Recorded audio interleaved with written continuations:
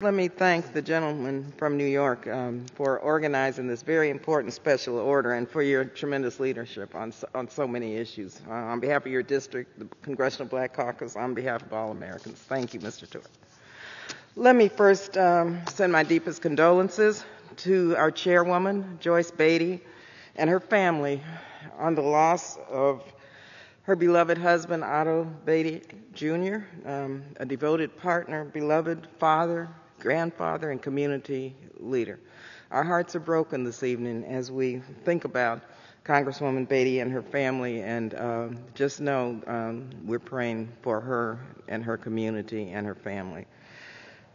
This is um, a special order tonight, uh, and I want to thank again Congressman uh, Richie Torres and the Congressional Black Caucus for organizing this to mark 100 years since the horrific tragedy of the Tulsa Greenwood Massacre. In one of the worst acts of racist violence in United States history, a white mob ransacked a prosperous African American neighborhood in Tulsa, Oklahoma. From May 31st to June 1st, 1921, an estimated 300 black men, women, and children were murdered. The mob destroyed 35 square blocks of Greenwood and burned down over 1,000 black owned businesses, churches, and homes. During a time when lynching African Americans was commonplace, the alleged, mind you, alleged assault of a white woman by a black man was enough to incite a massacre of unimaginable proportions. A thriving black community became the target of animosity and racial hatred by its neighbors. Now, a grand jury placed the blame for the massacre entirely on the black community. No white person was ever held accountable for these crimes. This is an example, mind you, of the horrors and the experience of living as a black person in America then and now. In 1997, the Oakland legislature, Oklahoma legislature established a commission to study the Tulsa race riots of 1921. It was charged with the responsibility of developing a historical record of the massacre through identifying witnesses and gathering testimony and records. The commission not only corrected the record, but also recommended rep- reparations for the survivors and their descendants. To date, they have not received any, mind you, any direct compensation.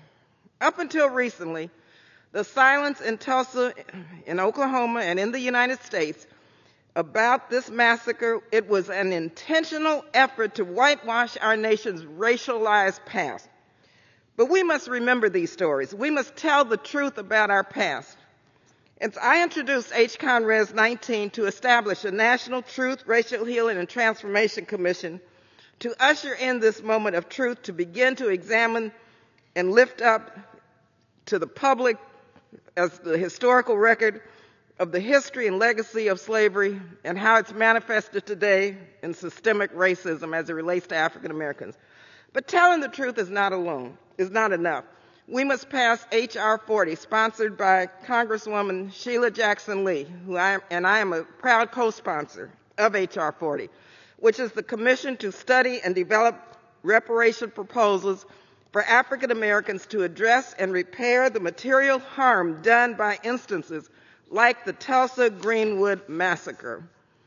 And I'm pleased to say that my home state of California is leading the nation in this effort, being the first state to pass a law to establish a task force to study and develop reparation proposals.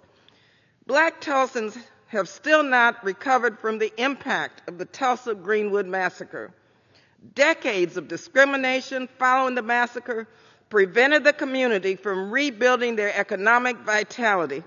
Black Tulsans are still over two times more likely to be unemployed than their white counterparts, and their communities are the least likely to attract businesses and large employers. Policies like redlining and local ordinances have prevented growth. And so the legacy of the massacre, it continues to impact black Tulsans today. We cannot forget and we cannot let the nation forget about the Tulsa Greenwood massacre. H.R. 40 is a bill that we need to move forward to begin to repair the damage of the historical facts of the legacy of enslaved Africans brought to this country who, quite frankly, still have not, in spite of our progress, achieved liberty and justice for all. Thank you again for yielding.